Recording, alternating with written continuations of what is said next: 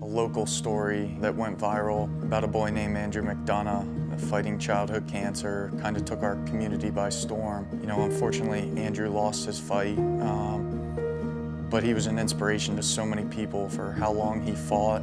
The Andrew McDonough Be Positive Foundation started by Andrew's family. And, uh, you know, we were just able to do a lot. When I got to University of Delaware, it just expanded even more. And um, our football team got what we call a, a Be Positive hero. And that was Danny Feltwell. And uh, you know, that's how my relationship with Danny got started. Hey, what's up, dude? Not much, how are you? I'm good. That's a cool jersey you got behind you. Oh yeah, that's yours. I always felt stressed. I always felt like, am I gonna get better? How is this gonna turn up? Like, I didn't know where my next step was gonna be.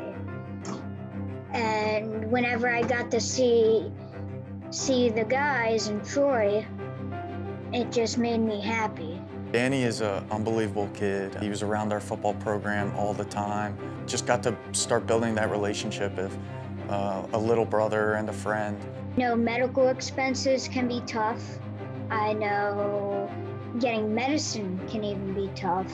Really, if you just need help, that foundation, which in this case is Be Positive, um, can really help you through that. What I've seen in his fight is um, you know, not just the financial, not just the donations and different stuff like that that are huge, but, you know, just being there. The reason why social work is coupled with oncology or cancer clinics is because we know that the diagnosis not only impacts the patient, it also impacts the friends, the neighbors, and most certainly the families of anybody diagnosed with cancer our entire intention every day when we come into work is how can we best support this patient? How can we best care for this patient? And we know that this is very difficult on people. It's very difficult for the human experience. So why not provide people who not only will support you, but have also been through this in some capacity and know exactly how to guide you?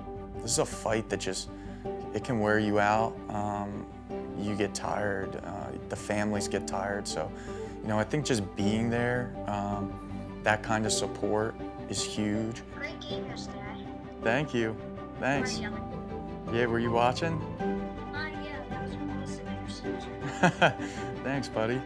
You know, as a professional athlete, you feel like you're an inspiration to a lot of people, but you're looking for inspiration yourself. and and for me, it's these kids have really been inspiring.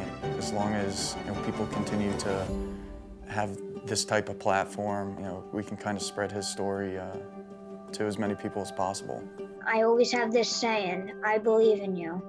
So no matter how hard you do, keep fighting. No matter if you're playing basketball or even even fighting cancer, never give up.